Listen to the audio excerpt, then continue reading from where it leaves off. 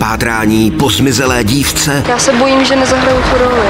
Přivedl jsem na svět už pár hereček, ty nebudeš první. je promyšlenou součástí připravovaného filmu. Už jsem ti to chtěla dávno říct. Už tě nemiluju. Ale její smrt během natáčení Příčina? Utopení. mění filmovou fikci na nemilosrdnou realitu. Mohl by někdo Zuzanu Kroftovou zabít se závisti? Alibi na vodě. V pondělí ve 20 hodin na CS Filmu.